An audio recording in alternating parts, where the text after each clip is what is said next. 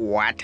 This is the only way how to fix the roblox black screen okay? The black screen pops up every time you are playing roblox okay? this is the only way to fix it okay? So first of all i'll be giving out robux to my random, random subscribers. Simply don't forget to smash a like button. So comment your robux name down below but don't forget to turn on the bell icon when you comment when you subscribe okay? So search for roblox. After searching for roblox i click on it um right click on it and open file location again and again okay? So what you just need to do is after opening up uh, the roblox file location what you just need to do is click uh, on on the search uh, on the on the roblox search bar um, uh, up here okay? So after clicking up here what you just need to do is copy the file location okay? Copy the file location okay? No no.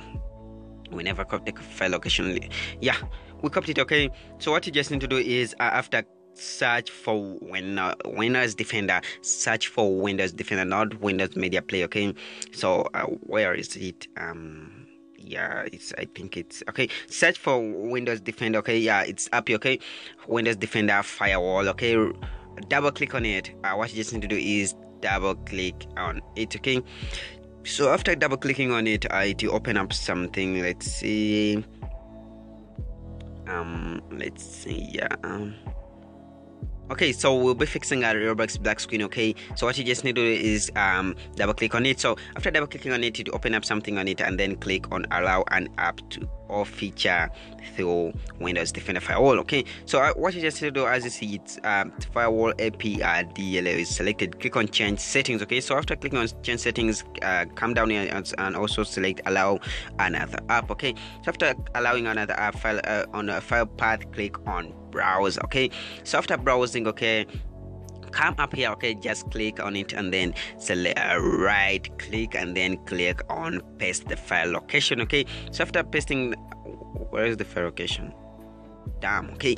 So let's uh, uh, paste uh, paste again the file location okay and click enter okay? So as, as you see the file location is kindly uh, just popped up okay? So click on roblox and then click on open. So after clicking on open as you see the roblox will be showing up here okay? Click on add uh, Roblox. Okay, as you see, the Roblox is there. It's it, this is Roblox. Okay, let's add it. Okay, click on it and then add. Okay, so after click on.